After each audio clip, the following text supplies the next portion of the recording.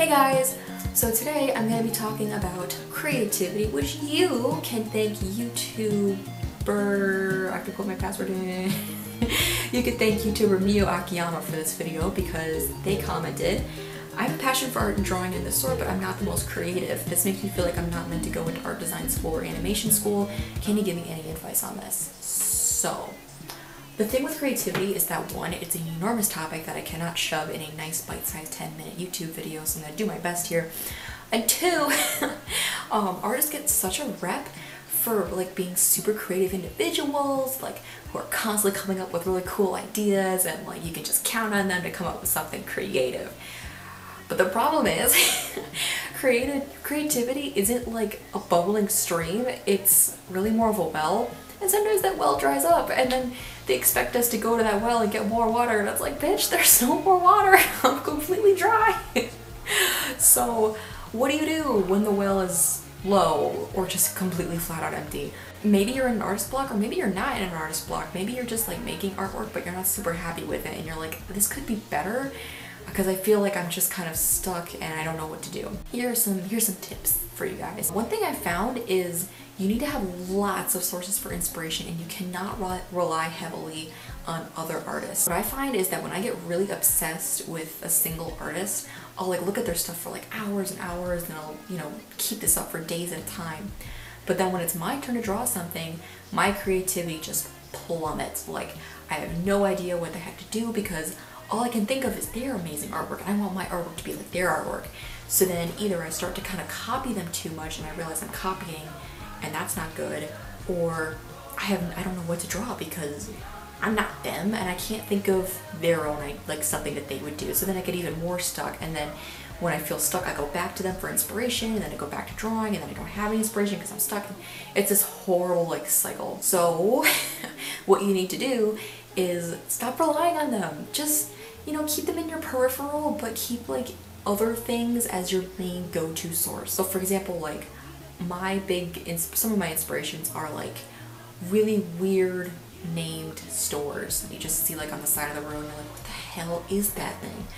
Or like really weird little objects that you find in like thrift stores or like uniquely packaged goods. Like I have a whole bunch of different like places that I kind of go to that aren't other artists. I try not to look to other artists as my inspiration because I know it just gets me stuck so it's not worth it to me.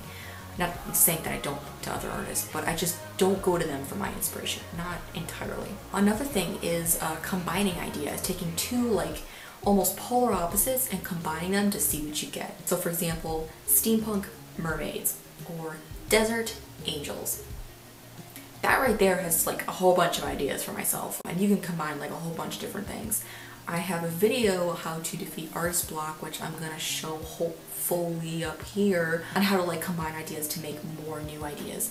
But that's just a really simple one. Just take different things, combine them, and see what the hell you get. Another thing is to avoid cliches if at all possible. For example, doing like all 12 zodiacs. A lot of people have done that. And there's nothing wrong with it because, you know, it's fun. It's like a thing that you can do and it's really like satisfying to get all 12 done or whatever. Like nothing wrong with it. At the same time, it's very discouraging when you're trying to do something that's a cliche because you'll look at all the other artists who have done the exact same thing and you'll think like, oh, it's not as good as this person's, or oh, this person's really similar to mine, or I'm really similar to theirs, and it just gets you down and you don't feel too good. If you are going to do a cliche, try to make it as like different and unique as physically possible. For example, when I was in high school, I did a series called Dr. Dorothy and the Copper Companion, which is really, really loosely based off of um, The Wizard of Oz because the main character's name is Dorothy and her companion, the copper companion, is missing a heart. But that's literally it. There's no yellow brick road. I, Dorothy, is an engineer. The copper companion is a complete robot who doesn't even have a soul. I can't really even talk. Has a completely unique design. It's set in a steampunk futuristic world. Like, it's completely different other than just this tiny little bit of inspiration that I used in the beginning. So if you're going to go that route, try to do something completely unique and out of the way different. And then the last thing you can do is try to give yourself a limitation. If you're given like a really, really vague assignment, like draw a city, and you're kind of overwhelmed because there's too many ideas, give yourself some small limitation on that project, like make the color palette strictly purple. That will help you so much.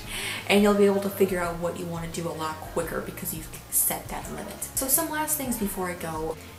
Don't, try not to think like you have to be the most creative artist in the world to be successful or that you have to be insanely creative just to be an artist. Because the thing is, every single piece of art out there came from something as some sort of inspiration. Like there's nothing new. It's it's not gonna happen. So don't think to yourself that you have to be because you're never gonna reach that. So don't beat yourself up. And just like one other thing, creativity doesn't have to be like the subject matter doesn't have to be creative. It can be another element of your art that's creative that makes you a creative artist. People tend to think that artists have to be like really unique in like storylines and character design and landscapes and creatures, like that they can just kind of create these worlds, right? But in a lot of cases, there's a lot of artists out there that their subject matter isn't like the most creative thing in the world, but something else what they do is really creative. So for example, Will Terrell here on YouTube, he's a really awesome artist that I love, and he's really famous for his people sketching videos. And like, they're just people that he sees at the grocery store or like out and about in town, so the subject matter isn't really creative, but the way he draws them and how unique he is able to like stylize their bodies is really really creative. So yeah you don't have to be don't beat yourself over up over this stuff. Just keep pushing through it. It might just be like a block or something like that. Everything ends at some point and you're probably more creative than you think. I hope neo right? Yeah i hope this answers your answers your question. I'm sorry this took so long to get to you And I hope this helps any of you guys watching this who are kind of like struggling or kind of beating yourself up because you're not as creative as you want to be. Lore knows that it's happened to me so many times. So you're not alone. you could point out to that silly YouTuber and be like, well, she's like me, so, so I'm okay. Um, yeah. But I, I hope this was sort of helpful. Before I go, just like little announcement thingies. My Snapchat is up and running. You can add me by username, it's Bova. Or if you really, really want to get my snap code, just go to my previous video, August announcements, and the snap code comes up like within the first minute of the video, you can find it. I would highly recommend that you follow me because if you've been like interested about my 100 storefront idea, this is the place where you can get like really, really in advance sneak peeks of what I'm doing. Like right now, I've already shown my users uh, number 10 and I've only posted number 1 on Instagram so you might want to follow that. Speaking of Instagram, you can see my artwork on Instagram and Tumblr. It's Biana Bova for each one of them. Links in the description. Thank you guys for watching. If you have any like major concerns or questions that you want me to do a video on in the future, you can always leave a comment in the description. Please give this video a like if you liked it. And if you really like my videos, please subscribe to my channel. That would mean so much. but yeah, I hope you guys are having a great day and I'll see you in the next video. Bye!